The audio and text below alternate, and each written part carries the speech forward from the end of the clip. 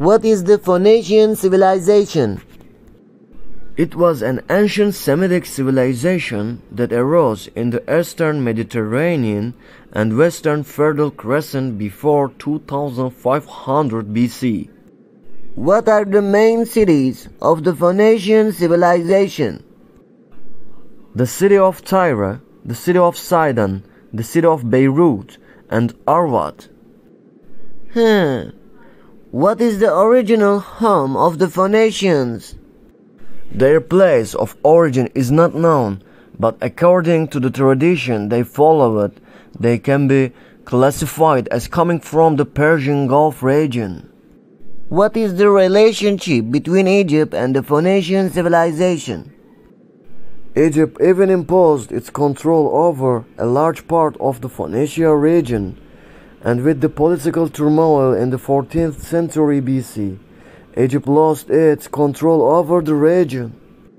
How did the political turmoil begin in the Phoenician civilization? In the 9th century BC, the independence of Phoenicia was threatened by the Assyrians, and the Assyrian kings imposed tribute and took control of parts of Phoenicia. How was the system of government in the Phoenician civilizations?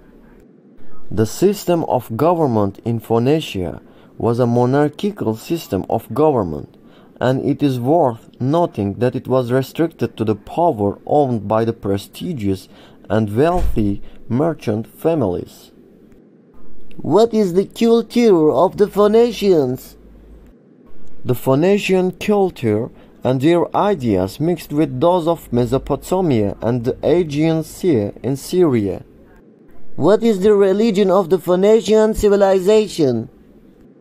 The religion of the Phoenicians is a set of rituals and worship held by the Phoenician cities, which differ from one city to another.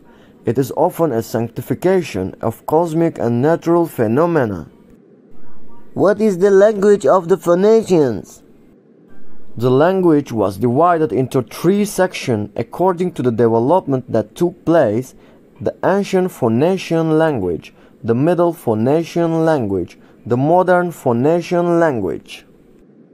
Hmm. How did Phoenician civilization end?